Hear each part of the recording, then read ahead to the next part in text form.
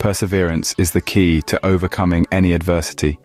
This is the foundation upon which Stoicism stands, and it is a belief that has withstood the test of time.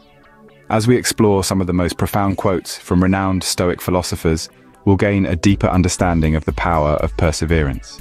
Firstly, Seneca reminds us, we are more often frightened than hurt, and we suffer more in imagination than in reality. This quote speaks directly to the human tendency to fear the unknown and exaggerate the potential for harm. In reality, we are often stronger and more resilient than we give ourselves credit for.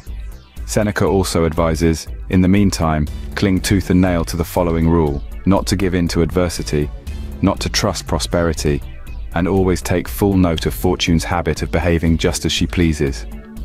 This quote encourages us to remain steadfast regardless of our circumstances and to maintain a level-headed approach to life's ups and downs. Shifting to Marcus Aurelius, he challenges us with a question.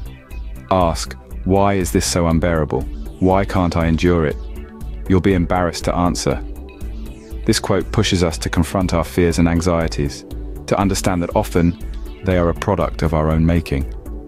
Marcus Aurelius also imparts wisdom about the power of perspective, stating, you don't have to turn this into something.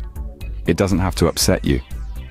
This reinforces the idea that we have control over our reactions and emotions, even when we can't control the circumstances. Lastly, Epictetus brings it all together by saying, to make the best of what is in our power, and take the rest as it occurs.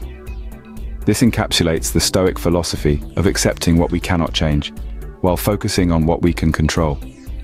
In summary, these quotes emphasize that perseverance is not merely about enduring hardships, but about maintaining a balanced perspective, controlling our reactions, and focusing on what we can control.